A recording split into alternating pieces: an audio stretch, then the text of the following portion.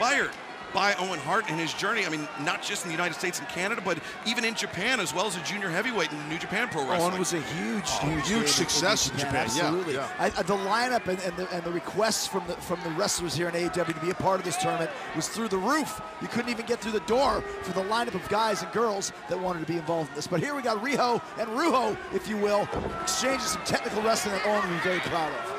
A nice quick flip right there by Soho and to that arm bar, traditional arm bar. Let's see if Riho can get herself out of this. Maybe an arm drag, maybe an ankle pickup, maybe, maybe not.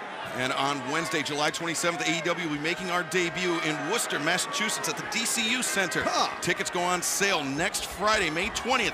And AEW will be returning to Houston next Wednesday on May 18th at the Fertitta Center. Tickets on sale right now, AEWTIX.com. Wow. Riho be able to bridge Beautiful. up. Matrix bridge.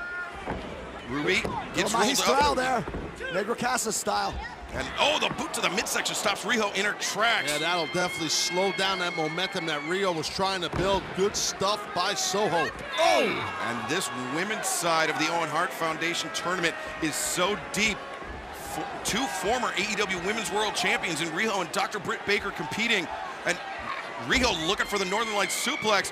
Ruby able to counter. Wow. And, Good power there, but she's got a size advantage on Riho, does Ruby. and Riho lands on her feet, swing and a miss. Whoa, whoa, whoa, whoa, whoa! Nice Tijeras. Takes down Ruby Soho. Riho, the Cazadora, rolls through the Ooh. stomp. Double stomp right there. The winner of this match originally slated to face the winner of Red Velvet and Hikaru Shida in the semifinal round, but Shida not cleared by AEW's physicians. We'll have more on that coming up next when Tony Schiavone speaks to Jade Cargill, Red Velvet, and Kiera Hogan. Let's see which one of these ladies here advances.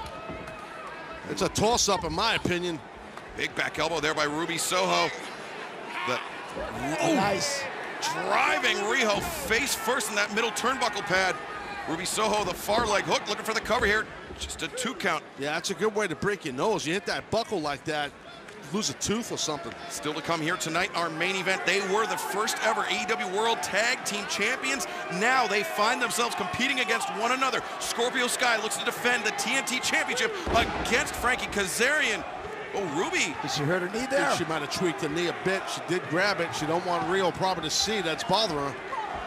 Riho delivers the elbow to Ruby. Ruby. Oh, the headbutt though. Strong. She's trying to shake out that left knee.